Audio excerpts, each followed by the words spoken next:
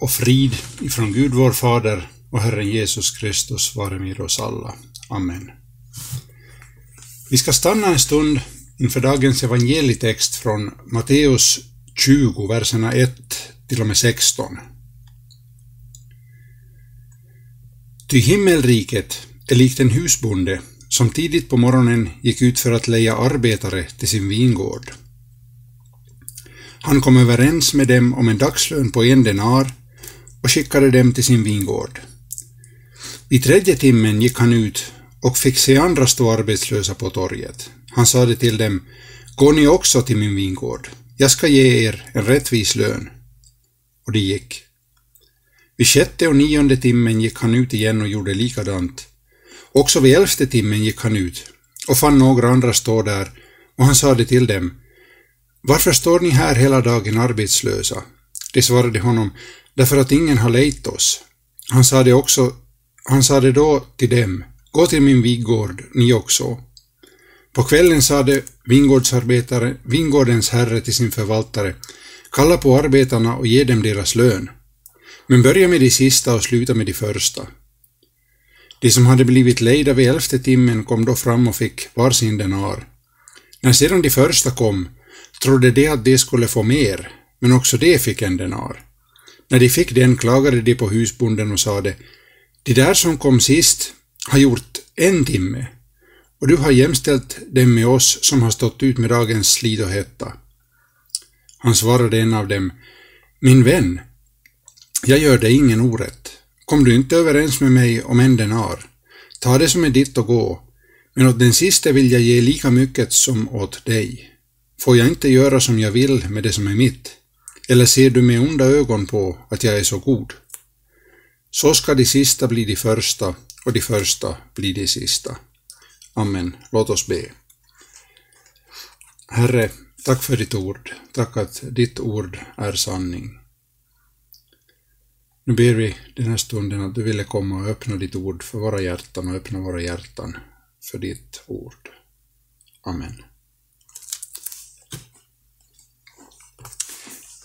Knappast har någon missat att vi just nu lever i en ganska turbulent tid på arbetsmarknaden i Finland. Det strejkas lite här och där på olika arbetsplatser, medan arbetstagare och arbetsgivare försöker komma överens om hur lönerna ska höjas för att arbetstagarnas köpkraft inte ska minska och, så att största möjliga rättvisa ska kunna uppnås på lönemarknaden. Det här är knepiga saker och inte alltid så lätt att förstå för en som inte har någon insyn i vad som pågår. Ja, kanske inte ens för den som har en viss insyn, vem vet. Det har funnits sådana som har menat att det här avsnittet ur Matteus är tillämpligt på vår världsliga arbetsmarknad och det med en viss förvirring som följd. Det här avsnittet är ändå inte avsett att fungera som modell för hur vi människor ska förhandla och bestämma om löner och om arbetsförhållanden. I vår text tar Jesus dåtidens arbetsmarknad som utgångspunkt för en liknelse som ska berätta om någonting helt annat, nämligen om det som är vårt tema idag, den oförtjänta nåden. På arbetarnas reaktioner i liknelsen så ser vi att det Jesus här framställer inte var hur arbets- och lönemarknaden fungerade på den tiden heller. Utan att det sägs kan vi anta att det i liknelsen var fråga om en arbetsintensiv tid inom jordbruket, kanske såningstid, kanske skulle druvorna skördas. Hur som helst behövdes det extra händer på vingården. Då gick det till så att jordägaren kunde gå till torget och leja extra arbetare bland de arbetslösa som hade samlats där. Det här skedde också i liknelsen. Det måste ha varit en stor, stor vingård och en väldigt arbetsintensiv tid för den här jordägaren han gick inte bara ut till torget en gång utan hela fem gånger. Klockan sex när arbetsdagen började, klockan nio, klockan tolv, klockan tre och till sist ännu klockan fem när det återstod bara en timme av arbetet för dagen. Det här är redan i sig märkligt och visar att det här inte handlar om någon kurs i arbetsledning och i arbetsmarknadspolitik. Men det märkliga slutar ändå inte ens där. De första, alltså de som lejdes klockan sex på morgonen och därför kom att svettas hela dagen i, i sitt arbete, de lovades gängse lön, alltså en denar.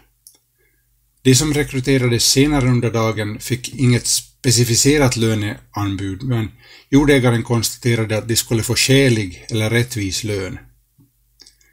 Och så blev klockan sex på kvällen och arbetsdagen var över.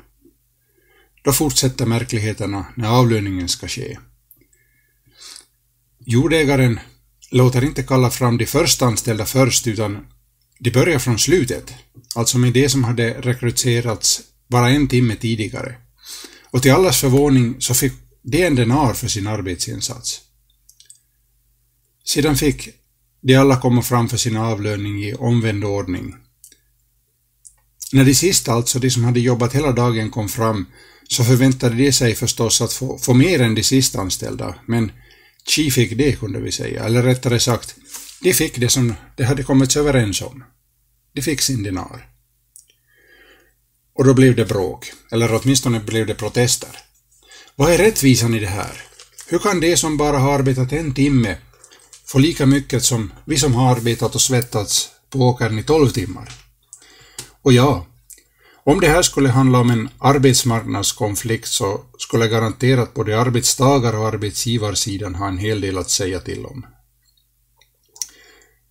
Förstås skedde här inga avtalsbrott, men vårt sinne för rättvisa, det får nog sig en, en törn. Vår arbetsmarknad och, och, och, vårt mänskliga tänkande i stort så handlar om att vi, vi behöver få det som vi har rätt till. Våra rättigheter och också förstås våra skyldigheter är det centrala i hur vi ser på de här sakerna. Och då finns det i den här liknelsen, trots att alltså inga felaktigheter begås, en del som tilldrar sig vårt misshag, kunde vi säga. För det här kan ju ändå inte vara rätt. Och på samma sätt reagerade säkert också de som hörde den här liknelsen. Det här är inte rätt. Trots att alltså inga felaktigheter skedde. Alla fick, du, fick ju det som de hade blivit lovade, men ändå. Jesu liknelser fungerade och fungerar ofta just på det här sättet. Han tog en situation ur verkliga livet och så tvistade han till den så att människorna reagerade på det han sa. Och på det sättet kom de säkert ihåg vad han hade sagt och, det budskap han ville förmedla så det fastnade. Så vad är då budskapet i den här liknelsen som Jesus ville att åhörarna och också vi som hör och läser liknelsen idag skulle lära oss och förstå? Nå, dagens tema avslöjade förstås det redan. Det handlar om den oförtjänta nåden. Eller som jordägaren säger i liknelsen. Har jag inte rätt att göra som jag vill med det som är mitt? Eller ser du med onda ögon på att jag är god? Så ska de sista bli först och de första sist. Arbetarna i liknelsen, de fick alla det de hade rätt till. Ja, vissa av dem fick till och med mycket mer än så. Men alla fick åtminstone det som de hade förtjänat. Vissa mer, men ingen mindre. När det gäller Guds rike så får alla mer än vi har förtjänat. Tack och lov får vi inte enligt förtjänst. Det skulle nämligen vara en fullständig katastrof. För om vi ser på vad Guds ord och Guds heliga lag säger att vi har förtjänat, så sägs det klart och tydligt i Romarbrevet 6.23. Syndens lön är döden döden. Det är vad vi alla utan undantag har förtjänat. Och det är vad vi skulle få, om och när vi får det som vi har arbetat ihop till, när vi får det vi har förtjänat. Det här går förstås också stick i stäv med hur människor i allmänhet ser på de här sakerna. Hur kan vi ha förtjänat döden? Vi har ju gjort gott också. Visst, vi har alla också gjort det som är dåligt, vi har tänkt onda tankar, vi har sagt ord som sårar och och kanske till och med vissa gånger har vi gjort det som vi identifierar som ont. Men, vill vi ändå protestera, jag är ju ingen mördare. Så någon rättvisa måste ju finnas här också. Inte kan jag få samma lön, eller rättare sagt samma straff, som den som har mördat, som den som har stulit och som har ställt till med mycket elände. Jag har inte varit lika dålig som de har varit, inte på långt när, så någon rättvisa måste ju ändå finnas. Så tänker vi. Problemet med det här sättet att tänka är det att Guds krav är annorlunda än människors. Gud jämför inte oss människor med varandra som vi gör. Vi gör gärna så att vi, vi rangordnar oss och våra felsteg i relation till andra och deras felsteg. Och så gör vi en lista och en skala och någonstans på den här skalan så drar vi ett streck och så förkunnar vi att det här räcker. De som är över det här strecket, de, de, de måste ju bara duga. Och de som är under strecket är sådana och har gjort sånt som gör att de kan bli på utsidan. Men de som når över det här strecket på listan, de måste ju bara få komma med. De måste ju bara duga. Och vanligen är det förstås så att, att den som ställer de här kraven, han finns förstås på övre sidan av det här strecket. Men Gud jämför som sagt inte oss människor med varandra som vi gör. Hans inträdelsekrav i himlen, det bygger inte på sånt tänkande som vi människor så gärna ägnar oss åt. Nej, Gud jämför oss med sin heliga lag. Och då gäller inte någonting sånt som bättre än medeltalet, utan då talar vi om perfektion. Och alla som inte når upp till fullkomligheten, till den här perfektionen, de blir utanför. Syndens lön är döden, som vi läste. Så är det bara. Här finns inga gradskillnader och här finns inga finstilta villkor. Den som har brutit mot Guds lag, den som har syndat, den människan har förtjänat döden. Det är spelreglerna när det kommer till evigheten och till Guds rike. Det sägs här i vår text att så ska de första bli sist och de sista bli först. I, I Guds rike och i hans bokföring så svängs det mesta på huvudet. Åtminstone när vi ser på det som vi människor gör.